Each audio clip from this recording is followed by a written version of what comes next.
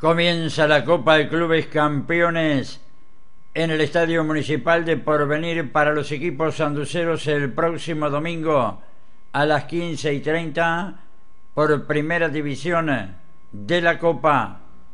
18 de julio recibe al Atlético Bellavista. Trabajaron ambos con dificultades, lógicamente, por la situación de las inclemencias del tiempo.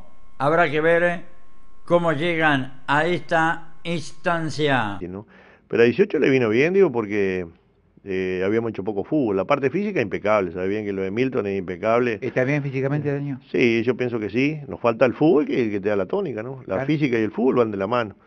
Este, entonces la parte física eh, muy buena. Por su lado, el técnico del Atlético Bellavista comentó la cancha por su estado en la que está nos permitió entrar en la semana algunos minutos siempre hacer fútbol este, no es lo ideal pero pero bueno creo que también nos afectó un poco a todos no es decir no es un consuelo pero nosotros tenemos que hacer lo que podemos no